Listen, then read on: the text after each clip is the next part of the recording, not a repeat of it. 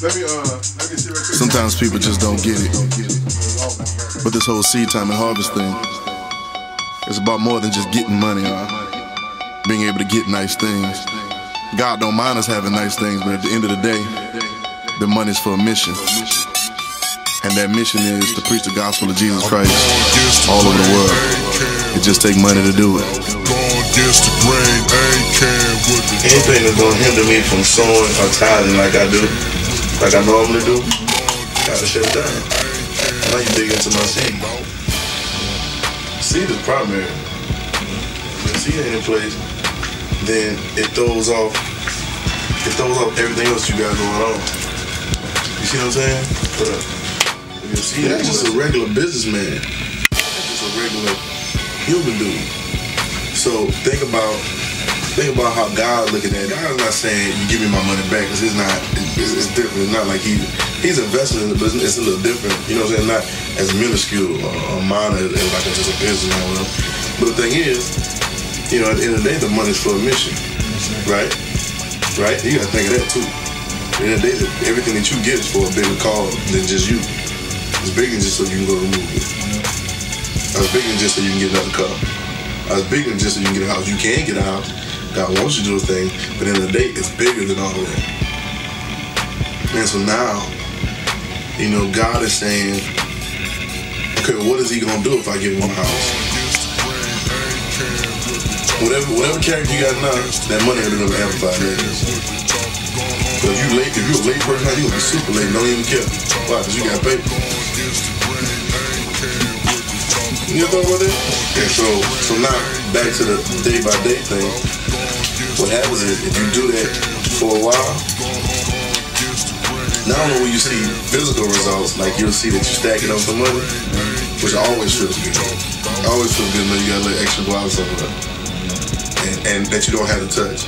You know what I'm saying? But then also, that is that is sending that is that is magnetizing God to you, saying God is saying He faithful. You know, being about talking about being a good steward. All that means is being a good manager.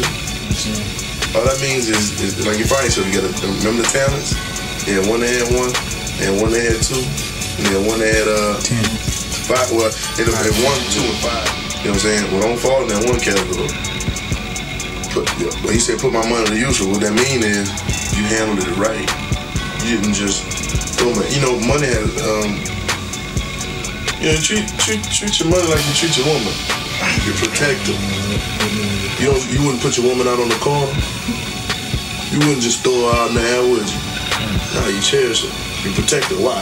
Why you do that? Cause, cause, cause you love her.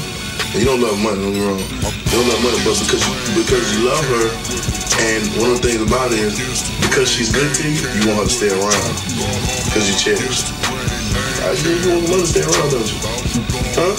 Yeah. So, at the end of the day, you know, as far as the love part, you don't love money. You know what I'm saying? You just use money. But at the end of the day, you still send the signal out that you're a good steward. And you gotta care.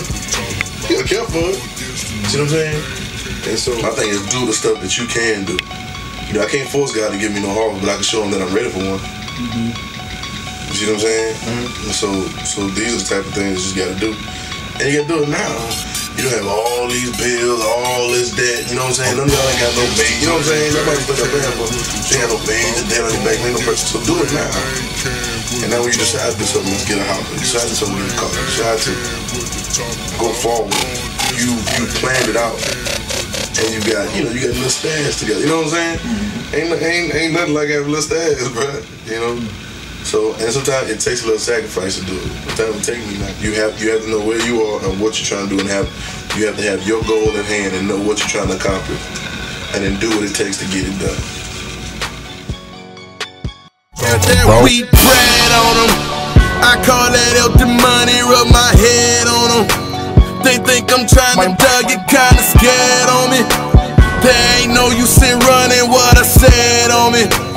I told you I was coming, take the street back, back to the one that owned it first. Make them tapes click, clack, hit rewind and then reverse. No time for all that shit chat. I'm just trying to cuss the curse. 187 on the dome, drop them lies up in a hearse.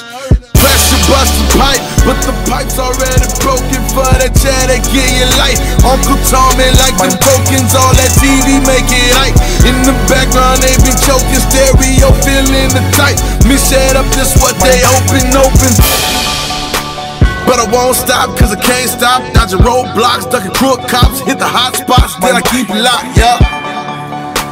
Like the black ops, I'ma take the shot. If I hit it right, then it gotta drop. Knock 'em off the top, then get off the clock, yeah. I'm going against the grain, ain't caring what they talking about. Going against the grain, ain't caring what they talking. Going, going, going against the grain, ain't caring what they talking about. Going against the